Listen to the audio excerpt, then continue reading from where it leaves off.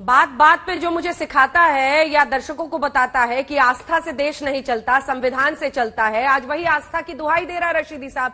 ये तो आप लोगों के तर्कों की सीमा है। वहीं पर जाते हैं और रिबाउंस करते हुए अपनी तरफ़ तुरंत आप वही कार्ड खेल देते हैं। गौरव भाटिया को बताऊँ नहीं नहीं लगाव तो सबको है मंदिरों से भी हिंदुओं को लगाव है। दोनों पक्षों का वही है मामला। और बाबा मिल गए।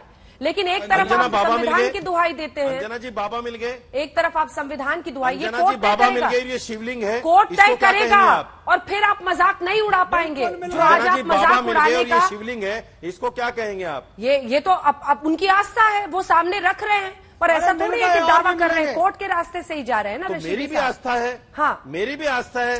पर आप बात बात कहते हैं ना संविधान से चलेगा इसलिए आपको याद दिलाया। गौरव भाटिया जी जवाब दीजिए। एक सेकंड। गौरव भाटिया जी जवाब दीजिए। गौरव भाटिया जी उनको जवाब दीजिए। वो जो तमाम सवाल वो उठा रहे जवाब ज़रूर दूँगा। क्या टारगेटेड तरीके से मुस्लिमों को देश मैं, में घेर रही है सरकार और बीजेपी और बीजेपी के पसंदीदा लोग? ये सीधा उनका आरोप।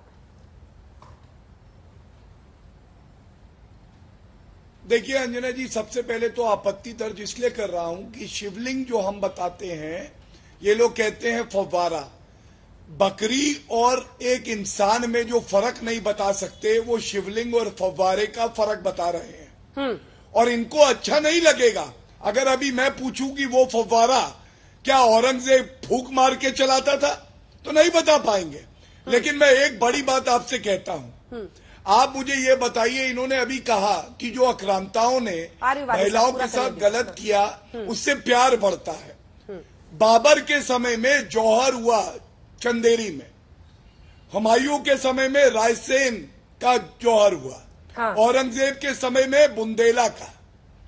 मैं पूछना चाहता हूँ इससे प्यार बढ़ रहा था और मैं किसी धर्म की बात इसलिए नहीं करूँगा मैं बहुत अच्छा एक उदाहरण देता लेकिन जो बहनें हमारी इस देश में है ना वो हमारी बहनें उनका धर्म कुछ भी हो। लेकिन मैं पूछना चाहता हूँ अगर कोई अक्रांता आता और इनके धर्म की महिलाओं के साथ उस वक्त पे गलत करता उनकी अस्मिता के साथ खेलता। और हम कहते वो हीरो है क्योंकि वो हमारे धर्म का होता। तो इन लोगों को अच्छा लगता क्या? अंजना जी नहीं।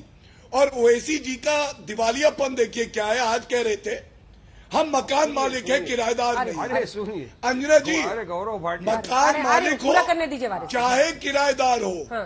अब बीच में नहीं बीच में नहीं प्लीज़ देखिए मकान मालिक हो चाहे किराएदार भी हो हम्म। वो अपने घर को कभी नष्ट नहीं करता क्षति नहीं पहुंचाता। हम्म। ये लोग दीमक है। दीमक जहाँ रहता है उसी को खा जाता है। वैसे ही ये ऐसे बयान देते सांप्रदायिक सौहार्द बिगाड़ देते हैं। हम्म। और मैं एक बात बस अंत करूँगा। ये जो आप चाहते हैं ना कि हिंदू सेक्युलर रहे और आप मस्कुलर रहे ये चलने वाला नहीं है।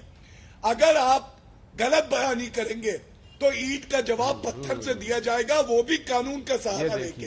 ये याद कर ले हाँ देखिए थ्रेट जवाब दीजिए अच्छा धमकी बिपड़ बिगड़ तक ये गीदड़ भपके से डरते रहे। अब जवाब सुनिए अंजना जी मैं बताना चाहता हूँ आपका सवाल था कि हिंदुओं को कौन भड़का रहा है। मैं अब जवाब देता हूँ सुनिए गौरव भाटिया आप जैसे प्रवक्ता भाजपा के लोग और विश्व हिंदू परिषद के लोग भड़काते कैसे? सुनिए जवाब कैसे? जब साढ़े दस बजे वहाँ पर जब साढ़े दस होता है गौरव जी उनको बोलने देते हैं आपके बीच में नहीं बोला उन्होंने। जवाब सुनिए सर प्लीज़ सुनिए सुनिए।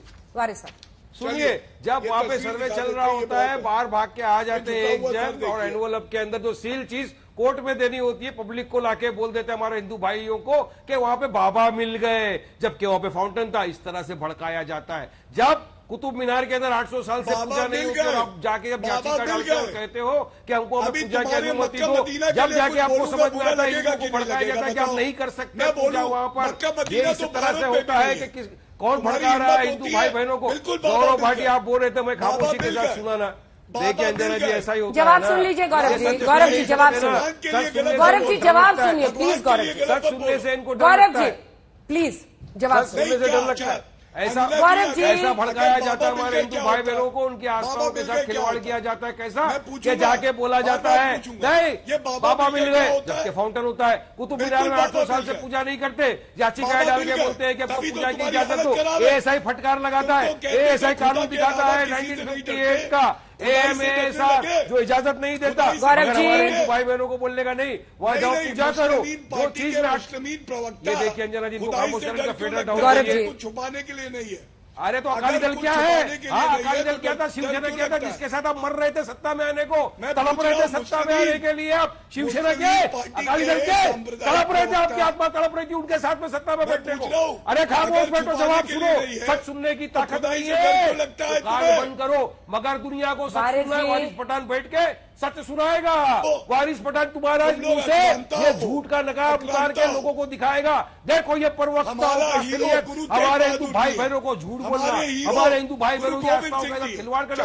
आप करो आप करते हो ये सब चीज़ें। क्यों? क्या आपका एजेंडा है? आपका एजेंडा साफ़ है कि लोगों का ध्यान भटकाना है? हिंदू मुसलमान को लड़ाना है। हिंदू मुसलमान करके अपनी राजनीति को अपनी राजनीति बोलने की ज़रूरत क्या थी? आप वारिस पठान साहब। फकर है। वारिस पठान इंडिया मजलिस इत्तेहादुल मुस्लिमीन का सिपाही हूँ फकर है मुझे इस बात का। आप क्यों शिवसेना के साथ मर रहे थे जाने के लिए सत्ता में? शिवसेना क्या है अकाली दल के मुफ्ती महबूबा के साथ जाके तो अपनी सत्ता की बनाई। अरे सत्ता के लिए आप कुछ भी कर लोगे गौरव भाटिया ज़मीन रिफ्लेक्ट डालोगे अपने सत्ता के लिए। हमारे हिंदू भाई बहनों की आस्था के कर कर डालोगे। सत्ता आपके लिए कुर्सी सब कुछ है, मगर कुर्सी ज़्यादा नहीं टिकने वाली है